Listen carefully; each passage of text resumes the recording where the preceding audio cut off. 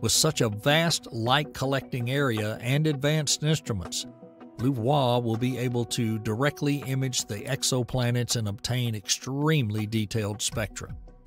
HabEx is similarly designed as a specialized planet hunting observatory equipped with a starshade.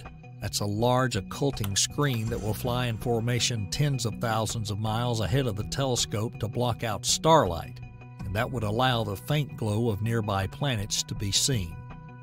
Both concepts share a common goal to find and study Earth sized, potentially habitable planets around the Sun like and smaller stars, and to examine their atmospheres for signs of life.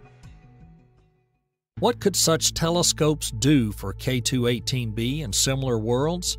First, they could perform more sensitive transit spectroscopy mirror many times larger that of JWST, a LUVOIR type telescope could gather far more photons from each transit of an exoplanet, significantly improving the signal to noise ratio of the spectrum.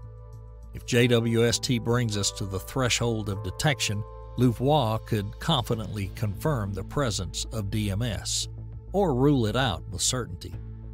Furthermore, a mission could cover a broader range of wavelengths extending into the ultraviolet and deeper into the infrared, which JWST cannot reach. This would allow detection of other potential biosignatures or atmospheric indicators. For example, LUVOIR could search for substances like ozone in the ultraviolet or detect organic haze or other compounds at shorter wavelengths.